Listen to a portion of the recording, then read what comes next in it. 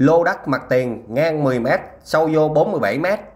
Tổng diện tích 469,5 m2, trong đó có 248 m2 đất ở đô thị, còn lại đất trồng cây đông năm. Mặt tiền lộ nhựa hiện hữu. Đường này có tên là đường Nguyễn Huệ, lộ hiện hữu rộng 12m, vỉa hè 3m5. Trục đường Nguyễn Huệ thuộc thị trấn Sa Rai, huyện Tân Hồng, tỉnh Đồng Tháp. Trục đường chính kinh doanh rất đông. Xé miếng đất là gần trường học, cách trường học 100m. Cách ngân hàng Sa Cơm 340m, cách khu hành chính 1 km. Cách thế giới di động 600m, cách chợ 700m. Giá đang rao bán 5 tỷ 600 triệu đồng. Sổ sách, giấy tờ chính chủ. Huyện Tân Hồng có 8 xã một thị trấn, thì lô đất này nằm tại thị trấn Sa Rài, trục đường chính, nội ô thị trấn. Xung quanh thì dân cư đông đúc thích hợp cho cô chú anh chị mua để vừa ở vừa kinh doanh.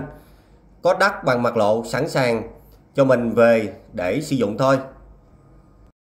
Trục đường Nguyễn Huệ là trục đường chính, lưu lượng xe qua lại rất đông vì là kết nối quốc lộ 30 đi cửa khẩu quốc tế Vinh Bà, Campuchia rồi đi ra thành phố Hồng Ngự, Tân Châu, An Giang rồi à, đường kết nối ra đường DT842 đi Tân Hưng, Long An, Sài Gòn kết nối ra đường DT843 đi Tam Nông, Tràm Chim, Cao Lãnh và các tỉnh lân cận khác.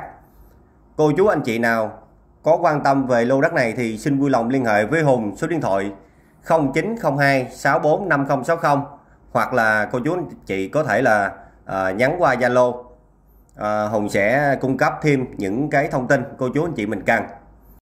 Năm mới Tết đến, Hùng xin chúc toàn thể cô chú anh chị sức khỏe và thành công. Cô chú anh chị đừng quên bấm đăng ký kênh Nhà đất Đồng Tháp để theo dõi những cái video về nhà đất ở vực Đồng Tháp. Biết đâu cô chú anh chị lựa chọn được một cái miếng đất ưng ý hoặc là một cái căn nhà hợp lý. Xin chào và hẹn gặp lại cô chú anh chị ở video về nhà hoặc đất tiếp theo.